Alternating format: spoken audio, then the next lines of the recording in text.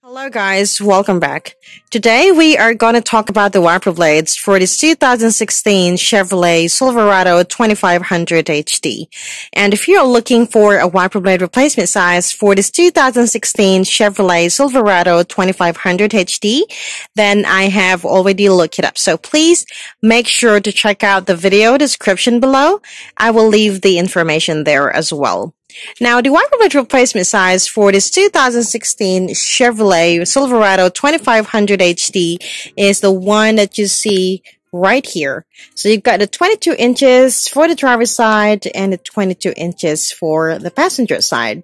And it is important to know that they are in different sizes. Also, there are many reasons as to you may want to change your wiper blades. You know, they could be getting old or you could end up in a situation where you may be caught up in a storm. And the last thing that you want is not being able to wipe up your window.